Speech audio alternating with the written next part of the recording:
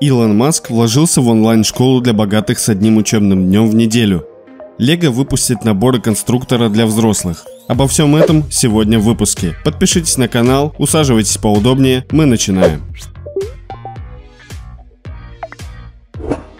Маск против традиционного образования. Илон Маск давно разочаровался в традиционной системе образования. В 2015 году он заявил, что школа не способна дать детям необходимых знаний и навыков. После этого Маск основал собственную школу, куда переманил учителей своих сыновей. Вет Астра, что с латинского означает «к звездам», нет оценок, а упор в образовании делается на этическую сторону принятия решений. Следуя пожеланиям и интересам Маска, из инновационной учебной программы исключили уроки по языку, музыке или спорту, но добавили сложные технологические проекты вроде создания боевых роботов, дискуссии о ядерной политике и планирования стратегии борьбы со злым искусственным интеллектом. Все расходы учреждения миллиардер взял на себя. Позднее из серии частных уроков для сыновей Маска проект дорос до полноценной школы для детей сотрудников SpaceX.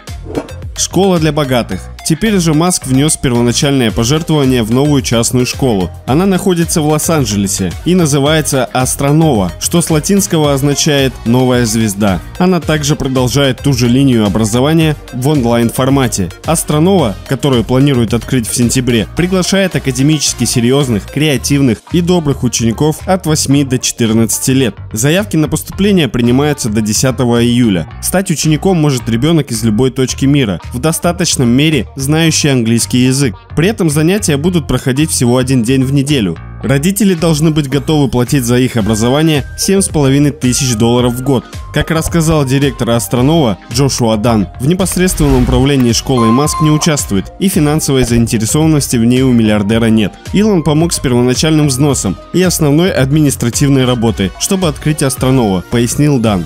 Впрочем, нашлись и те, кто осудил подход Маска к образованию. Декан колледжа образования при университете Кентукки Джулиан Васкис Хеллинг критично настроен по отношению к Астронова. Он заявил, что было бы лучше, если бы Маск сотрудничал с уже существующими образовательными онлайн-программами. По словам Хейлинга, глава Тесла мог бы стать партнером школ Кремниевой долины для детей с низким уровнем дохода и помочь преодолеть социальное неравенство в сфере науки и технологий. У Илона Маска была реальная возможность сделать то, что он сделал, общественным благом, а не частным, к которому имеют доступ лишь определенные люди, подчеркнул эксперт. Маск не единственный миллиардер, который в период пандемии решил поддержать сферу образования, вынужденную перейти на дистанционный формат. Основатель Facebook Марк Цукерберг пообещал перечислить на образовательные проекты 6 миллионов долларов, а гендиректор Twitter Джек Дорси выделил 10 миллионов долларов на подключение к интернету и обеспечение техникой студентов в Калифорнии.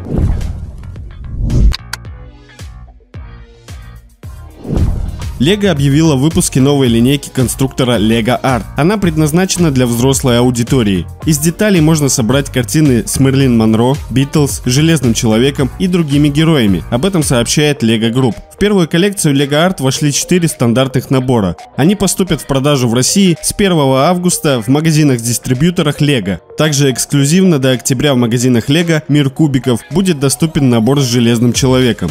Стоимость одного набора составит от 9 тысяч рублей. Каждый набор можно собрать несколькими способами из стайлов Лего, цветных 2D элементов. В дополнение к наборам идут таблички с подписью и специальный подкаст, посвященный теме набора. Мы сможем вдохновить поклонников кино, меломанов и поклонников искусства на погружение в мир искусства и творчества, связанный с их кумирами, комментирует старший директор по дизайну LEGO Group Луис Элизабет Бантофт.